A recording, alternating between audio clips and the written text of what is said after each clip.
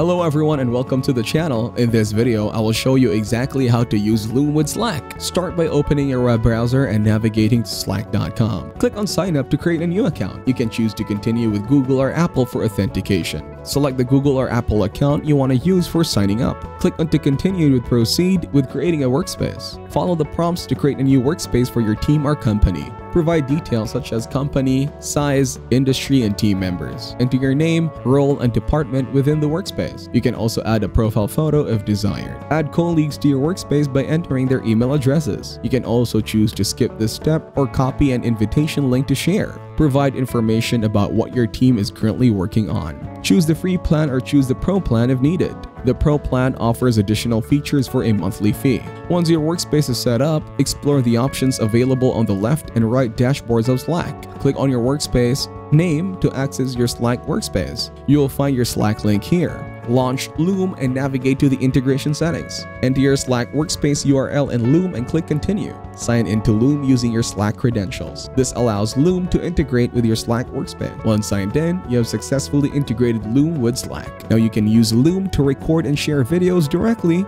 within Slack channels or messages. Thank you everyone for watching. Hope you got some value. Make sure to like the video and subscribe to our channel. Leave a comment down below. See you in the next one.